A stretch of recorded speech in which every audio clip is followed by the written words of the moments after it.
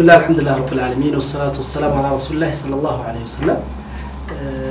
ዛሬ ከእናንተ ፊት ለፊት ላስተላለፍ የፈለግኩት መልእክት በእጄ ላይ የምትመለከቱት ይህ መጽሐፍ ለውጥ ኡስታዝ በድር ሁሴን እንግዲህ እስር ቤት ላይ ያለ የተጀመረ ዛሬ ላይ ማገባደጃውን አግኝቶ ለህትመት የበቃ ሚያዝያ 22 ላይ ምርቃን የሚደረግ መጽሐፍ ነው።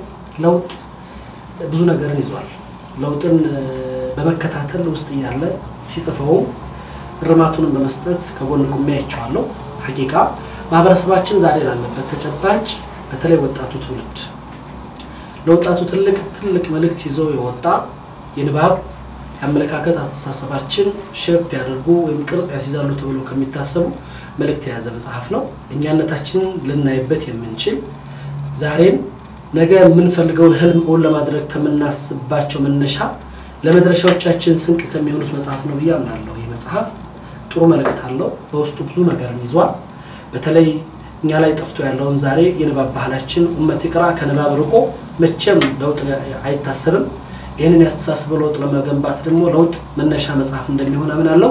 ይህ መጽሐፍ ሁላችንም በእጃችን ይዘን ልናነበው ውስጡ ላይ ያለውን ትምህርት ልንቀስመው እና ወደ ህይወትን ለውጠው የሚገባ ትልቅ መጽሐፍ ነው። ትልቅ መሽሮ ነው።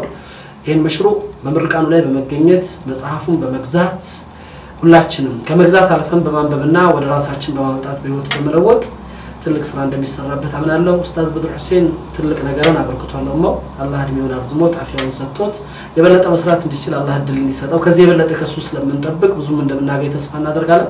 ከአሁን በፊት የምጥቀት ጎዳና ላይ ሰርቷል።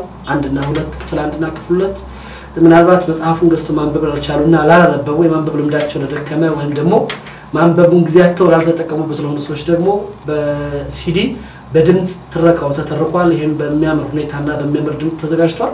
ሁሉም እድል አለን። ኡዝርን እያሳጡን ነው እነዚህ ሰዎች እና ኡዝሩን አላህ ፊት ኡዝር የላችሁም ተብለን ከመቅረባችን በፊት ዛሬ ያለውን እድል መጠቀም እያንዳንዳችን አማና ኃላፊነት ነው ብያለሁ። ለውጥ ለለውጥ ትልቅ መሰረት ስለሆነ በተለይ ወጣቱ ትውልድ ከንባብ ጋር ያለውን ቁርኝት የሚያስተሳስር የሚያስተካክል ትልቅ መጽሐፍ ነው። ይህም መጽሐፍ ሁላችንም በእጃችን እንድናስገባው ቦታ ላይ ተገኝተን ምርቃኑም ላይ ብሔራዊ ቲያትር እንደሚሆን ተነግሯል። ብሔራዊ ቲያትር ላይ በመገኘት በ22 ምርቃኑ ላይ በመሳተፍ መጽሐፉን በመግዛት አንድነት ጽሁፎቹ ነገ ጧትም የተሻለ ሆኖ መውጣት እንዲችሉ ማበረታታት፣ ሁለት ተጠቃሚነታችን ዋጋ ከፍለን ትልቅ ዋጋ ለመፍጠር መንቀሳቀስ የእያንዳንዱ ሙስሊም ግዴታ ነው ብዬ አምናለሁ። በተለይ ወጣቱ ትውልድ ከለውጥ ጋር አብረን እንጓዝ እላለሁ። አሰላሙ አለይኩም ወረሕመቱላሂ ወበረካቱ።